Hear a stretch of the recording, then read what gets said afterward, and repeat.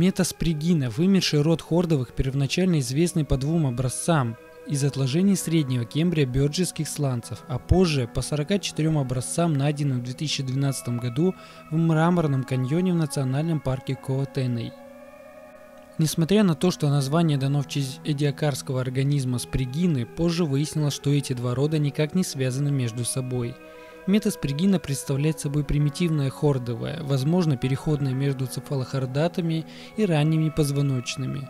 У этого организма не имелось плавников и был слабо развитый череп, но он обладал хорошо развитыми и направленными вверх глазами, а также ноздрями, расположенными позади глаз. Метаспригина также имела нотохорду вместе с семью парами глоточных панелей, возможно, состоящих из хрящей. Крупнейшие экземпляры достигают 10 см в длину. Первоначально она считалась свободно плавающим животным, но иногда все-таки опускалась на морское дно. Окаменелости из мраморного каньона показывают наличие глаз, и их размещение наводит ученых на мысль, что она питалась, проплывая над морским дном и фильтруя мелкие частицы грунта в поисках питательных веществ.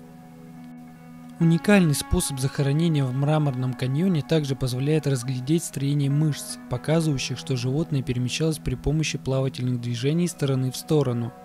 У метаспригины в строении тела наблюдается дополнительный брюшной шеврон и четкий спинной изгиб, который определяет W-образный механизм движения тела, непосредственно сопоставимый современными рыбами.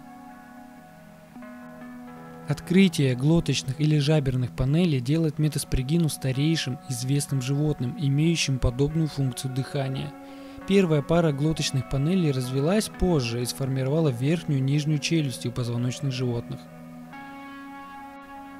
Если вы являетесь любителем палеонтологии, доисторических существ или вам просто понравилось данное видео, то будьте добры поставить лайк, подписаться на канал или вступить в группу канала, ссылка будет в описании.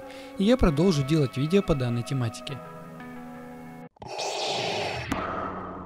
Yeah.